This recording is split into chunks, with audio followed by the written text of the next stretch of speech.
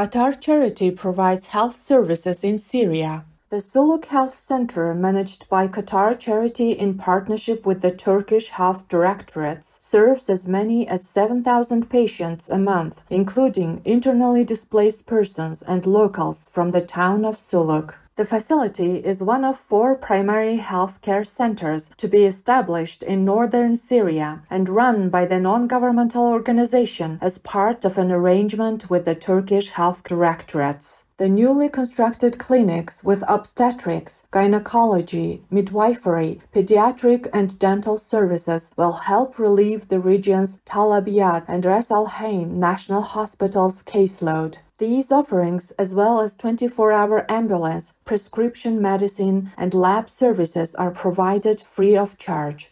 Qatar is a Shining World Leadership Awards for Peace and Compassion laureate.